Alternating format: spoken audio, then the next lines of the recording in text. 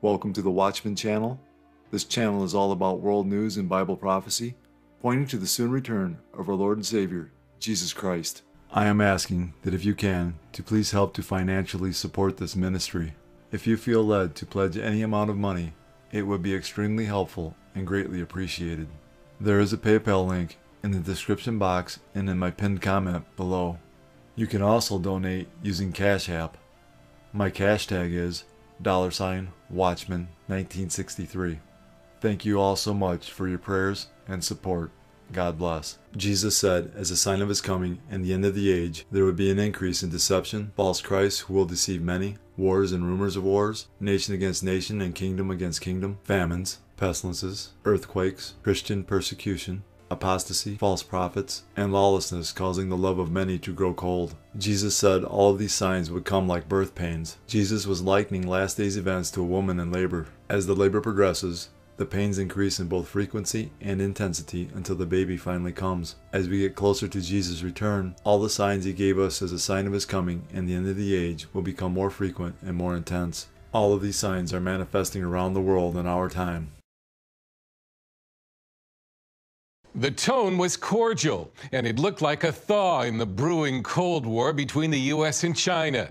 Then, after the summit, President Biden called Chinese President Xi a dictator, and China vowed to retake Taiwan. The summit began with the two leaders taking a much friendlier tone after months of rising tensions, with President Biden sounding optimistic. I believe they're some of the most constructive and productive discussions we've had. They agreed on a new push to crack down on the export of the deadly drug fentanyl from China to the U.S. President Xi Jinping said China is ready to be a partner and friend of the United States. And China could use a friend. Foreign businesses and capital have been fleeing China at a record pace. Companies are increasingly seeing the writing on the wall in China.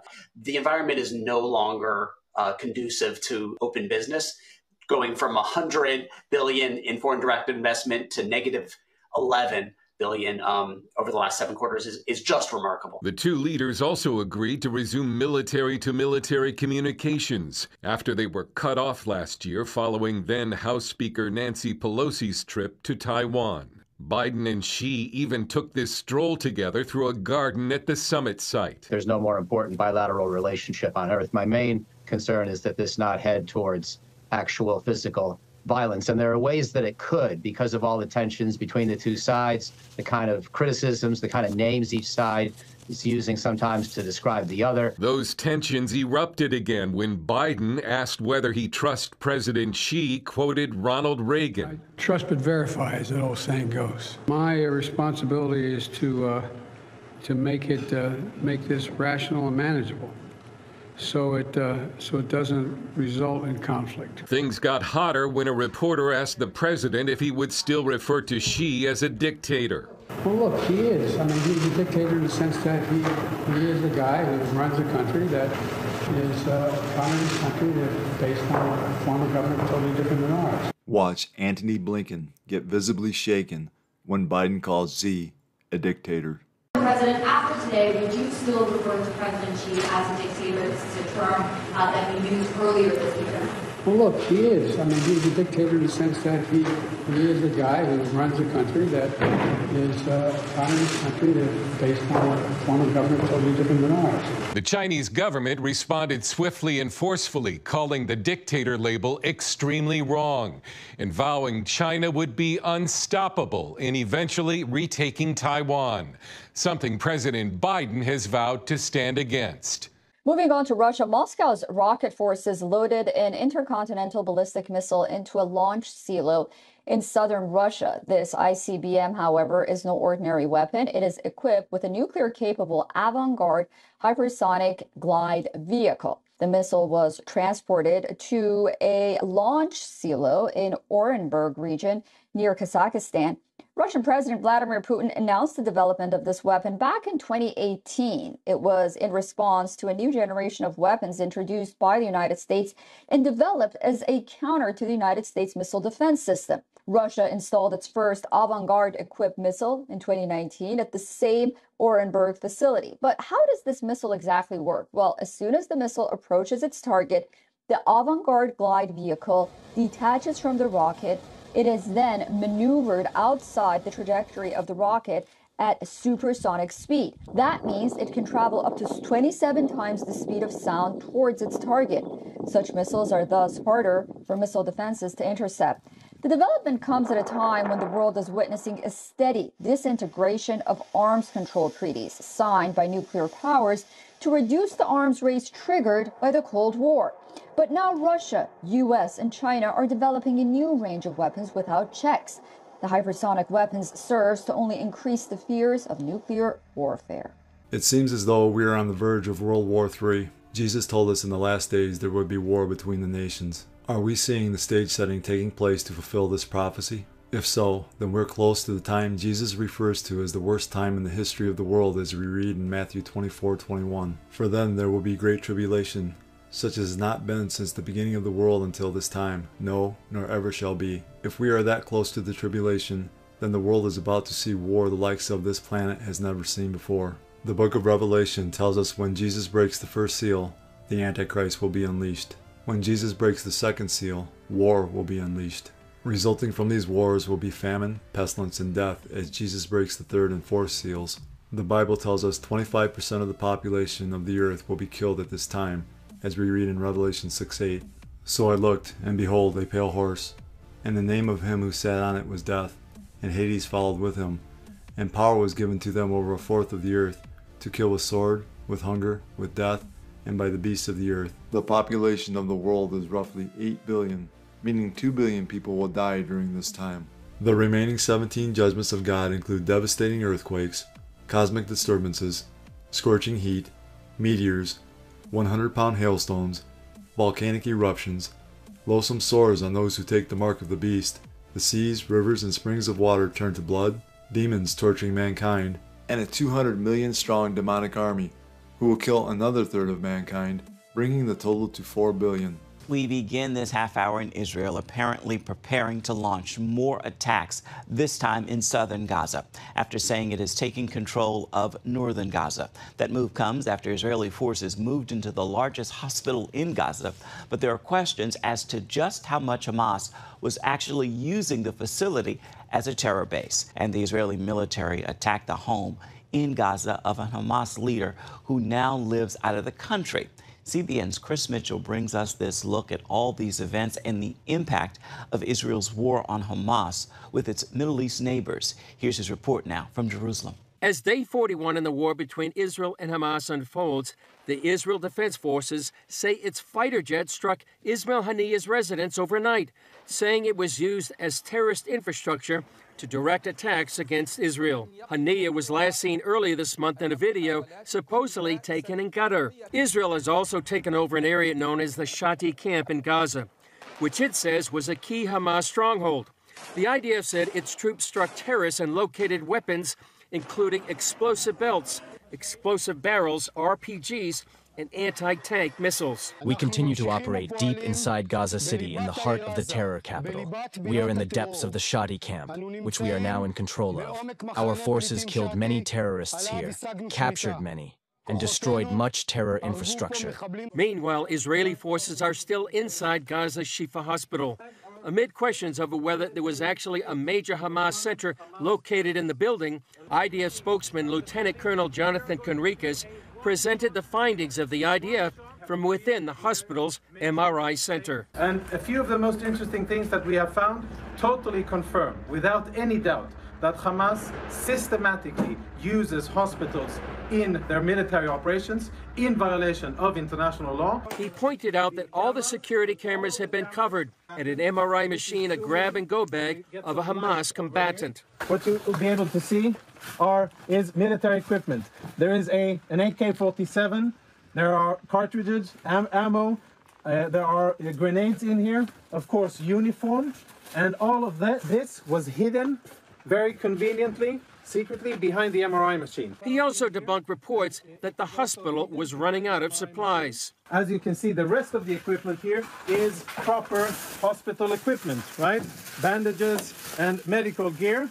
Uh, it seems as if there's no real shortage. In the main hallway, more weapons in a cabinet.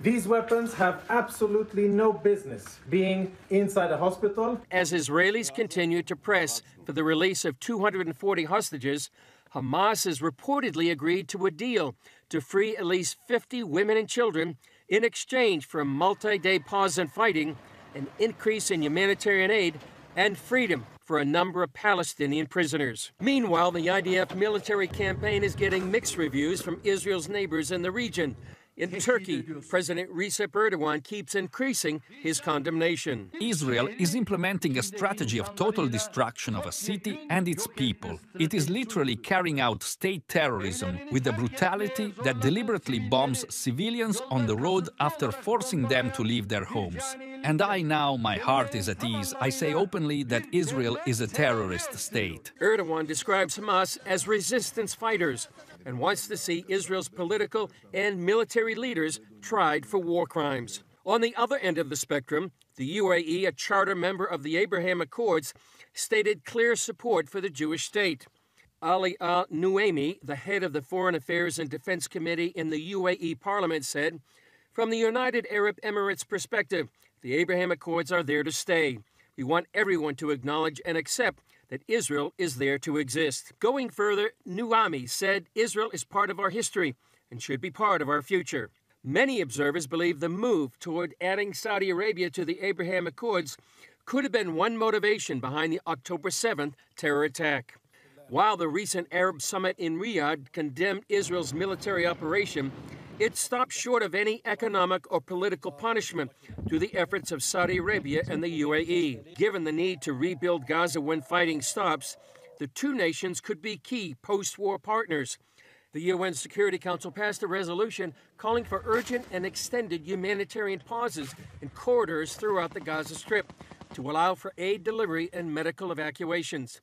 The U.S. abstained, allowing the resolution to pass while Israel's ambassador to the UN, Gilad Erdan, condemned the resolution since it didn't mention the atrocities by Hamas on October 7th. With so much attention on Hamas in Gaza and Hezbollah in Lebanon, international talk is growing on what's happening behind the scenes. The main master plan the main person who's pulling all the strings is Iran. They are the threat to Israel for the next three years, five years, 25 years. In the last days, the prophet Zechariah tells us Israel will be the focal point of world conflict, and he gives a dire warning to the nations who would dare come against Jerusalem. Zechariah 12 2 and 3 Behold, I will make Jerusalem a cup of drunkenness to all the surrounding peoples when they lay siege against Judah and Jerusalem.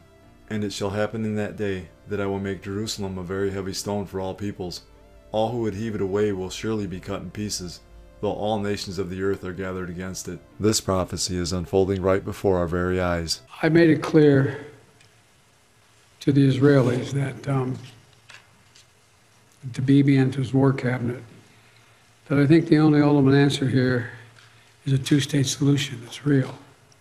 We got to get to the point where there's an ability to be able to even talk without worrying about whether or not we're just dealing with, uh, they're dealing with Hamas that's going to engage in the same activities they did over the past, uh, on, on the 7th. So it, it's, uh, but I can't tell, I'm not a fortune teller, I can't tell you how long it's going to last. But I can tell you, I don't think it ultimately ends until there's a two state solution. I made it clear to the Israelis, I think it's a big mistake to, for them to think they're going to occupy Gaza and maintain Gaza. I don't think that works. And so we're gonna, I think you're going to see efforts to uh, bring along, well, I shouldn't go into any more because that's been things I've been negotiating with Arab countries and others about what the next steps are. God gives the most dire warning to the nations who would divide up his land, as we read in Joel 3 1 and 2, and Zechariah 12 8 and 9. For behold, in those days and at that time, when I bring back the captives of Judah and Jerusalem, I will also gather all nations, and bring them down to the valley of Jehoshaphat, and I will enter into judgment with them there, on account of my people, my heritage Israel, whom they have scattered among the nations. They have also divided up my land. In that day, the Lord will defend the inhabitants of Jerusalem. The one who is feeble among them, in that day shall be like David, and the house of David shall be like God like the angel of the Lord before them. It shall be in that day that I will seek to destroy all the nations that come against Jerusalem. I want to talk about something now that few here in the United States are discussing, and that is outrageous comments about Israel and the U.S. from a key NATO ally and recipient of hundreds of millions of dollars in U.S. aid this year.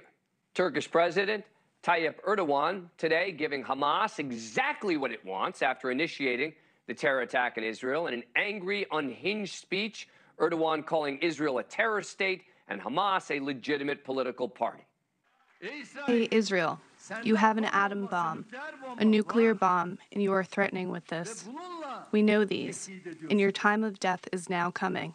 No matter whether you own a nuclear bomb, own whatever you own, but you are a goner. And right now, I'm openly saying with a clear conscience that Israel is a terror state. Your time of death is now coming. Everyone clapping there. Since last year, Israel and Turkey have had full diplomatic relations. So now Hamas is getting exactly what it wants.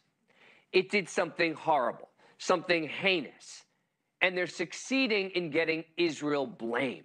Never mind that Hamas leaders have literally given interviews saying that was their goal. Hamas official telling the New York Times last week, quote, I hope that the state of war with Israel will become permanent on all the borders and that the Arab world will stand with us.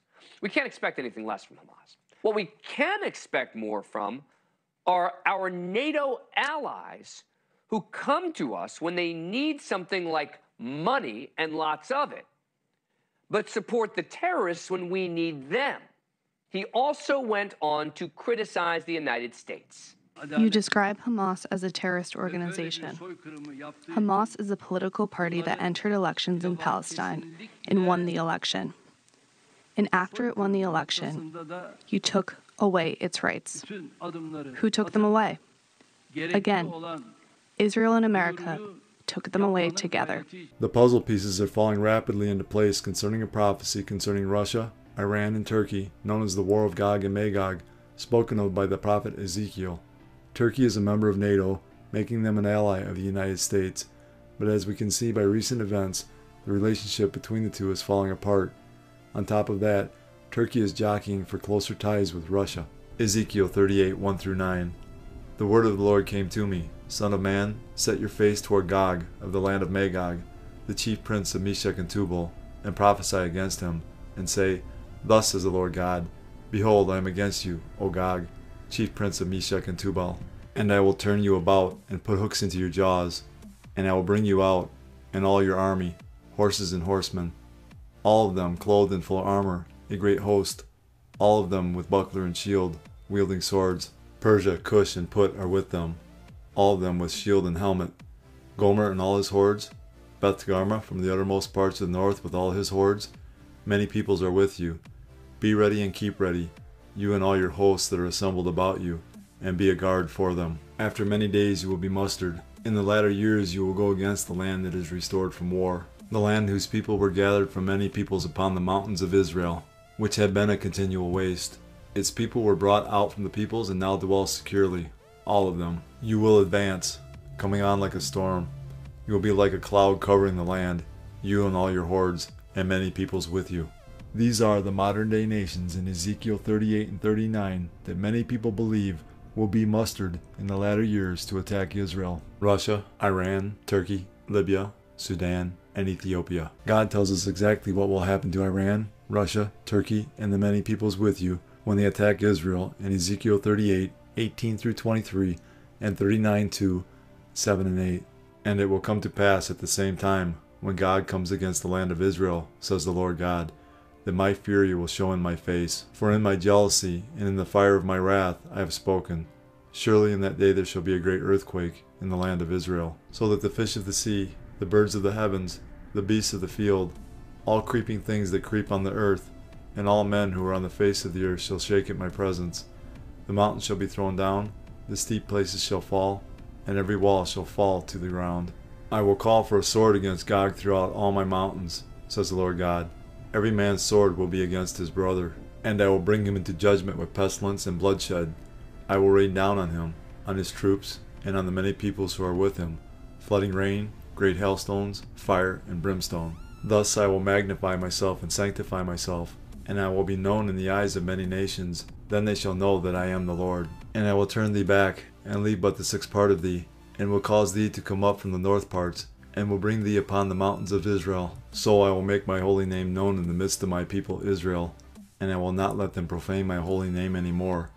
Then the nations shall know that I am the Lord, the Holy One in Israel. Surely it is coming, and it shall be done, says the Lord God. This is the day of which I have spoken. I've been informed by top ranking military officials that Israel has been unable to launch even a single plane in defense. As I stand here, fighter planes are exploding in midair. They're crashing and falling to the ground without any explanation. And while no one can seem to give me any reason for why this is happening, I can tell you this. This all out, unprecedented attempt to destroy Israel appears to be failing. God is the one who fights this battle for Israel. He does it for two reasons to make his holy name known in the midst of his people Israel, that the nations shall know that he is the Lord, the Holy One in Israel. Zechariah 2 8 and 9. For thus says the Lord of hosts He sent me after glory to the nations which plunder you. For he who touches you touches the apple of his eye. For surely I will shake my hand against them, and they shall become spoil for their servants then you will know that the Lord of hosts has sent me. Israel is precious to Almighty God, the apple of his eye. He is simply saying, You touch my chosen nation Israel, you poke me in the eye. Is Vladimir Putin, the infamous Gog of Magog, that the prophet Ezekiel warned would come on the scene in the last days and lead a coalition of nations to destroy Israel? Or could Gog be Recep Tayyip Erdogan, another dictator who is fast gaining power and dominance in the Middle East, biblical scholars can't agree if the prophet Ezekiel was talking about a last day's assault on Israel being led by Russia or Turkey.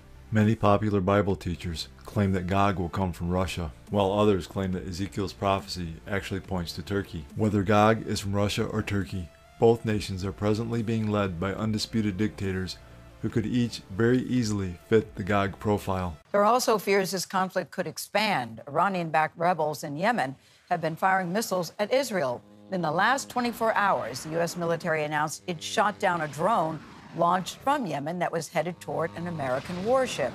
Holly Williams spoke exclusively with Iran's foreign minister about recent attacks on U.S. forces in the Middle East. The US says fighters backed by Iran have been attacking American forces in the Middle East with drones and rockets for weeks. But Iran's foreign minister, Hossein Amir Abdollahian, told us his country is not responsible and denied any involvement in the drone attack yesterday in the Red Sea. In Yemen, they make their own decisions.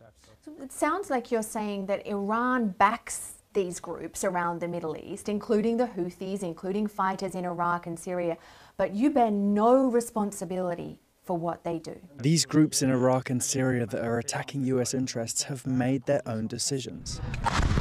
Iran is also a backer of Hamas, and the US says that makes it complicit in the October 7th attacks on Israel. The foreign minister denied that Iran helped plan them or even had advance warning. They went to capture military fighters. We never support the killing of women and children. You said they went in to target military personnel. Does Iran believe that Hamas may have made a mistake, strategically or morally, by targeting civilians? Hamas exercised a legitimate right to defend itself. It was a response to 75 years of aggression. The US and Iran both say they want to stop the Israel Hamas war from spreading. But they're old enemies in a Middle East that looks increasingly unstable and dangerously on edge. To the rising tensions in the region, U.S. officials say a Navy destroyer traveling in the Red Sea shot down a drone they say was fired from Yemen and headed towards the ship. Our chief global affairs anchor, Martha Raddatz, is in Washington with more. A drone fired right towards that U.S. Navy destroyer, and the crew took no chances shooting it out of the sky. We now have two aircraft carrier strike groups in the region to act as a deterrent, but these threats from Iranian backed groups keep on coming. In late October, the Pentagon says the Houthi militants in Yemen launched four cruise missiles and 15 drones over the Red Sea in the direction of Israel. The USS Carney shot all of those down. And just last week, the Pentagon says the Houthis shot down a U.S. Reaper drone, one of America's most sophisticated and expensive drones. All of this raising tensions in the region and fears of a wider war. Is global chaos the new normal? As anyone can plainly see, the world is in a state of decay, moral, economic, political, every way possible. People are saying the world is out of control and looking for someone anyone to rescue the planet. Soon, very soon, a leader will appear on the horizon that appears to have all the answers, to calm the oceans, to bring peace to all the nations. His title will be the Antichrist, and he will be welcomed by millions of those on earth not taken with the rapture. Unfortunately, his true identity will be known soon to those left behind, that his true intentions are death, destruction, and control. So, yes, global chaos is the new normal until the Lord Jesus Christ comes at the end of the Antichrist's seven year reign of terror and establishes true peace on earth. It seems like a good time for Satan to present the lawless one to the world. 2 Thessalonians 2 7 through 12. For the mystery of lawlessness is already at work. Only he who now restrains will do so until he is taken out of the way. And then the lawless one will be revealed, whom the Lord will consume with the breath of his mouth, and destroy with the brightness of his coming. The coming of the lawless one is according to the working of Satan, with all power, signs, and lying wonders, and with all unrighteous deception among those who perish, because they did not receive the love of the truth, that they might be saved. And for this reason, God will send them strong delusion, that they should believe the lie, that they all may be condemned who did not believe the truth, but had pleasure in unrighteousness. The signs of Jesus' soon return are so strong now, and the evidence is so clear, that any person willing to accept the truth can see that the end of the world as we know it is near. For God so loved the world that he gave his only begotten Son, that whoever believes in him should not perish, but have everlasting life. For all have sinned and fall short of the glory of God. But God demonstrates his own love toward us, in that while we were still sinners, Christ died for us. For the wages of sin is death, but the gift of God is eternal life in Christ Jesus our Lord. That if you confess with your mouth the Lord Jesus and believe in your heart that God has raised him from the dead, you will be saved. These are the ABCs of salvation. A. Admit that you're a sinner. B. Believe in your heart that Jesus Christ died for your sins was buried, and God raised him from the dead. See, Call upon the name of the Lord, and you will be saved. Jesus paid the price for mankind's sin. He has provided a way to spend eternity with Him and the Father. All you have to do is believe in the Lord Jesus, and you will be saved. God has already done all the work. All you must do is receive, in faith, the salvation God offers. Fully trust in Jesus alone as the payment for your sins. Believe in Him and you will not perish. God is offering you salvation as a gift. All you have to do is accept it. Jesus is the only way of salvation. That being said, we must repent of our sins. While repentance is not a work that earns salvation, repentance unto salvation does result in works. It is impossible to truly and fully change your mind without that causing a change in action. In the Bible, repentance results in a change in behavior. Repentance, properly defined, is necessary for salvation. One day, Jesus is coming. You may be at church. You may be at work. You may be asleep. God grant that you will be ready when He makes His personal appearance.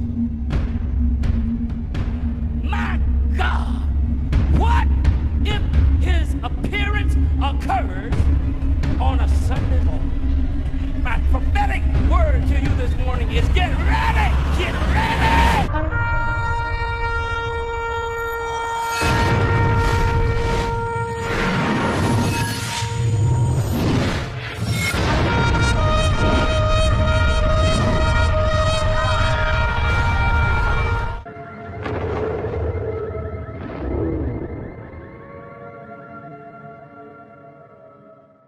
Time is short.